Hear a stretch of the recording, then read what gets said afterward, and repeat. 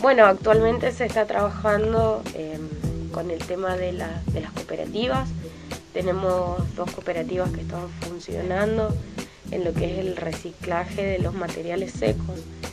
Em, la cooperativa de la mañana trabaja todo lo que es cartones principalmente y algo de plástico. La cooperativa de la tarde trabaja papeles, aluminios, bueno, los plásticos que no trabajan los chicos de la mañana y em, otros tipos de metales como por ejemplo bronce, cobre y demás.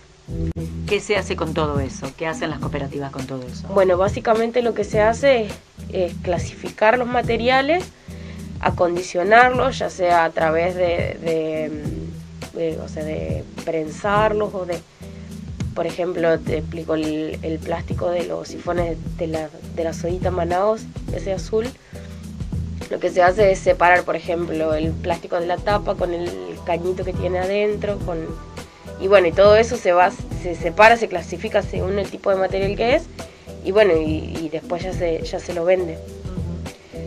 Eh, después, otra cosa que estamos haciendo es el tratamiento de los neumáticos. a partir del convenio que se firmó con la empresa Worms, eh, se le está haciendo una disposición adecuada a este tipo de residuos que estaban ahí apilados generando vectores como ser el mosquito del dengue que estamos ahora en la época y también alimañas, roedores y bueno, era un foco de infección importante que ahora ya lo estamos saneando y bueno, a partir del 5 de febrero, si Dios quiere, eh, empiezan a llevarse los primeros neumáticos para empezar con, con la disposición final adecuada.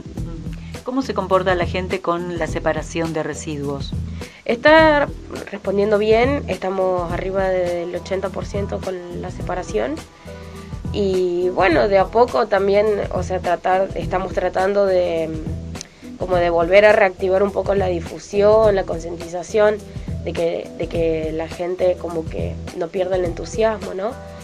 Algo positivo que creemos que ayuda con el tema de, que la gente siga separando en casa es los resultados que se ven a partir del, trabajo que hace la cooperativa. Que bueno, em, a partir de la implementación del GIRSU eh, se aumentó muchísimo la capacidad de recolección. ¿Qué pasa con la limpieza de patios? Bueno, la limpieza de patios es un, es un recorrido que pasa diferenciado de la recolección domiciliaria de residuos y bueno, se, va se trata de pasar em, cada 15 días por todos los barrios de la ciudad. Bueno, esa que fue una gran idea y que realmente este, motiva también a los chicos, ¿no? Para que puedan depositar las tapitas, ¿cómo sigue funcionando? Está sigue funcionando bien. Eh, bueno, al principio se llenaba en 15, 20 días, ahora lo estamos llenando cada mes, mes y medio aproximadamente, como que disminuyó un poco el flujo, pero es, una actividad que se sigue realizando. El corazón se llena, le avisamos a las chicas y ellas pasan a buscar las tapitas para, mandar a Santa Fe. Eh, en un momento recibimos muchas, muchas, muchas tapitas y las chicas no estaban viajando, entonces eso se envió a una empresa de Paraná que nos va a enviar mobiliario, algún banquito, alguna mesa a partir del plástico reciclado y que bueno, ya vamos a ver dónde, cuando nos llegue, dónde, en qué sector de la ciudad lo ubicamos. ¿Qué actividades son las que se van a realizar entonces en, los próximos tiempos con respecto a medio ambiente? Bueno, estamos organizando una, actividad de limpieza. Vamos, bueno, ya la vamos a lanzar oficialmente, te doy la primicia.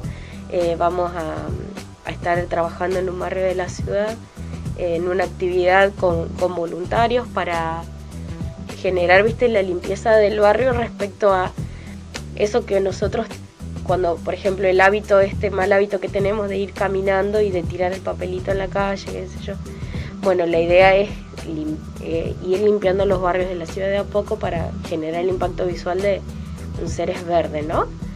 Em, después otra actividad que estamos organizando es eh, una jornada de educación ambiental abierta a todo el público donde vamos a tratar las temáticas más importantes y vamos a tratar de generar conciencia a partir de la educación. Bueno, que, es, algo que se está trabajando mucho desde la gestión de ustedes y que la verdad es que funciona, ¿no? Sí, estamos haciendo mucho hincapié en el tema concientización porque es la base del cambio, ¿no? nosotros a partir de, generar nuevos hábitos y de ser más conscientes en cuanto a la sustentabilidad, podemos ir eh, siendo agentes de cambio e incorporando todas estas políticas que venimos haciendo. Porque de nada sirve nosotros lanzar proyectos, programas y cosas si la población no, va a adherir y, y no va a generar ella el cambio, ¿no? Bueno, Diana.